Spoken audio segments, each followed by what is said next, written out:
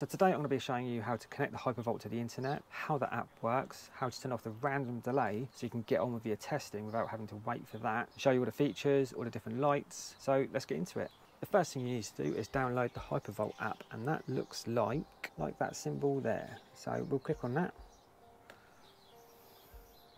And this is a screen that will come up. So what you need to do from this point is push the start button and then it will search for your charger and there is mine there. So you select that and then it checks the Bluetooth, allows you to adopt it and then, it, then you have to connect it up to the internet. So what you do is you select network. Now I'm going to connect this up quickly to my clients with their password and then I'm going to say connect. The network signal here, it's moderate so that shouldn't be too much of a problem. Simple as that, connected. So from this point you just push the next and this brings up the main dash screen. Now what you want to do from here is go into settings at the top right hand corner and then scroll down to your Hypervolt where you have these two options here, the default schedule and the random start. So the random start, we're going to turn that off. That means that we're not going to have this random delay between one second and 10 minutes so I can get on with my testing now.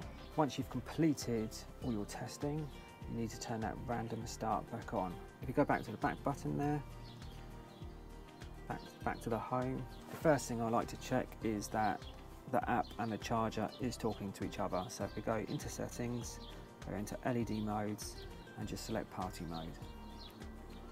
As you can see, the LEDs on the charger have changed. That tells me that this is talking now.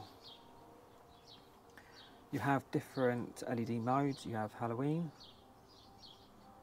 festive, red alert, turbo boost. If we go back the other way, you have this Ukraine one and the British flag. So as you can see, I had an error come up there. So what that was, was I was just talking to it too quickly. So you can see party mode's back on now. So that's good.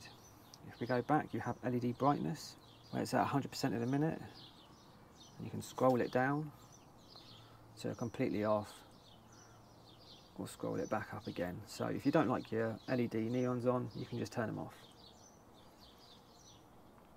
Schedule charge, if you go in there, this way you can set up your schedule charging. So if you have an overnight EV tariff, this is where you do it. Your energy tariff down the bottom here, if we click that, what you can put in here is your actual tariff rate that you pay per kilowatt and then it will tell you each charge how much it's, how much it's cost you.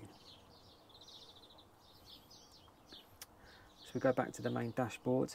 What we have there is it, it says plug and charge. If we click that, you can select schedule mode, and again you can set up your scheduling there, and that's how you activate that. You have a lock symbol here. If we push that, the charger is now locked. What this means is the charger is now secure and no one else can use this charger and then we have where it says stops there at the minute if you have a car plugged in and it needs some charge you can start it and stop it there. Simple as that. Once you've carried out all your testing though what you need to do is go back into settings go into your hypervolt and unadopt. What this now means is that my commissioning part is done and my customer now can download the app and adopt the charger. I hope you found that little guide useful.